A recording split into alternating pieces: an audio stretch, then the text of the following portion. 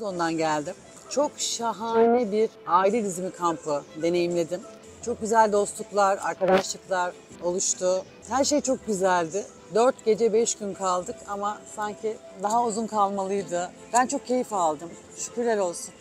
Çok güzeldi. her şey.